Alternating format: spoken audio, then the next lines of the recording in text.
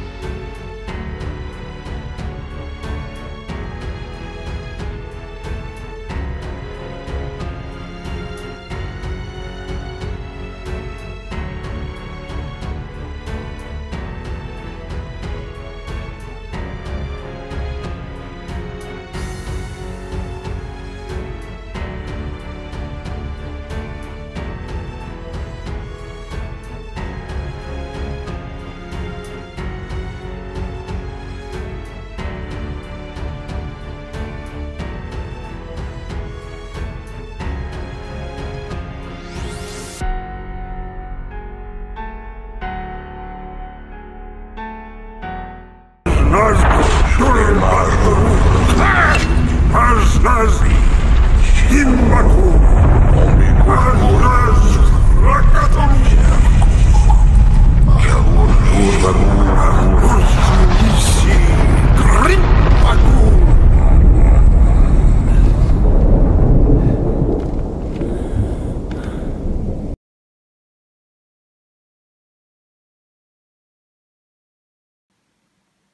这支笔呢，啊，整体重量约莫四十三克，然后单笔身约莫二十四克，所以拿起来的时候，其实我觉得啊，蛮适中的，重量是蛮适中的。然后加上它的啊重心也是蛮适中，所以我觉得握起来算是很舒服的一一支笔这样子，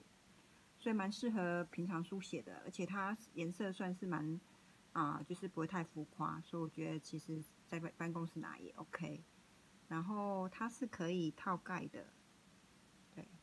然后套盖后，当然整体重量就变轻变重，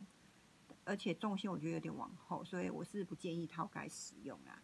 然后这就看个人习惯了，哈。好，那接下来就来看看它的笔尖。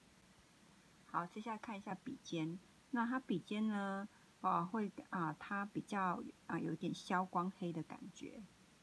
好，就是有点。偏黑色，虽然不是全黑，那这个可能要跟它像其他像，这是万特家的 Elmer 钢笔，这样一看就知道它是比较银色的感觉，然后它有点偏黑，好较黑一点点，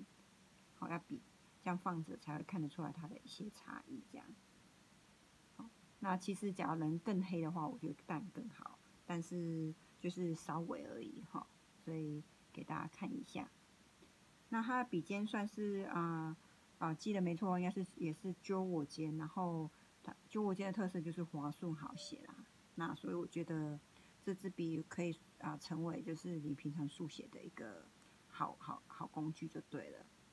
好，接下来跟其他钢笔比较一下。那像这个是以拉米常见的狩猎款来给个给大家一个指引哈。那其实他们啊万特家的钢笔其实它的外观长度。就是其实跟这啊，你看这这是 Elmo Fantasy 系列嘛，这是索伦之夜今天的主角，然后这是飞行笔，其实啊就是整支笔的长度其实都差不多，宽度也也差不多，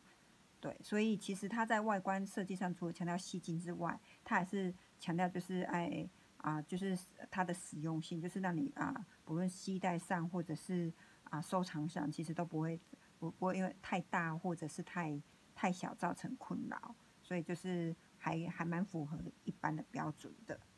所以我觉得它这一点是设计上是应该是有思考过的。好，那接下来我们把它打开看。那打开看之后，这个是拉米的啊斑笔身，然后这支刚好拉米是配黑尖，然后飞行笔的笔尖也是稍微有点消光黑，好，所以你看到它会跟这个啊索伦之眼颜色其实差不多，好。那现在拆开来看，可以看到说，其实这一支的话，相对啊，Elmo 跟这两支就索伦之眼，其他笔身啊就蛮接近的长度，单笔身的话，然后然后拉米相对稍微稍微长一点，那飞行笔相对比较啊啊瘦小一点点，好，所以供大家一个参考。然后这几支都可以套盖啊，好，套盖之后看一下。套盖之后都太长了，拉米我觉得太长了。飞行笔可能还刚好，因为它本身就，哦哦小心点。套盖之后好，目前拉米夺冠，我们看一下。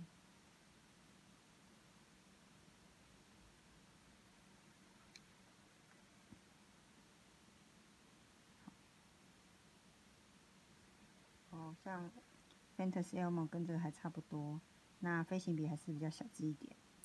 那都套盖之后，哦，拉米就跟这两只差不多了。好，供大家一个简单的参考，希望对大家啊有一些概念，这样子在选择上，哎，就是可以知道它的大小尺寸，那你也比较好知道自己的需求。好，以上供大家参考喽。好，最后呢，想要分享一下我的心得。那其实它这一支笔呢，就是我觉得是蛮适合，假如你是魔界的影迷的话，蛮适合收藏的。因为像去年出的那几那个那一款限量版呢，就是笔身设计非常的精细啊。然后我觉得，而且其实在价格上当然是比较贵，那而且那是比较适合收藏的，因为它笔身上有雕刻一些啊魔界里面的电影的一些啊人事人物嘛，所以就是它其实比较适合收藏。那但相对来讲，这一支笔就是它设计上是比较简洁的。那啊，简洁当中呢，又不会说太哎太单调，因为它有这个魔戒的一个戒指，然后可以让你当啊，你可以把它拿下来当项链啊或戒指啊，所以是也是有一个噱头在的。所以然后你笔又可以平常书写，所以我觉得不论是啊，就是在存啊啊使用上也是有的，然后在啊设计的点上也是有。所以，假如你是门经理的，千万不要错过这一支笔。那而且它在啊书写的实用性，刚刚有介绍过，其实它笔身不会太重。然后就是我觉得平常书写是还蛮蛮适合的，而且它啊长度什么都都刚刚好，所以平常携带也是很方便的。所以我推啊推荐给就是啊魔戒迷，一定一定要收藏。然后而且听说电视剧也要，好像是今年不知道。有就是因为有电视剧有魔戒，所以万特家才会找就是啊啊他们电影公司合作这样子，所以啊想要再重温一下魔戒的一些啊经典的内容啊，然后大家可以期待一下他们的电视剧，然后也不要错过这支笔这样子。好，今天写字旅行就到这里啊为止喽，然后记得帮我按下订阅，然后还没订阅可以帮我按订阅，然后帮我按分享。还有按赞哦，那我们写字旅行下次见。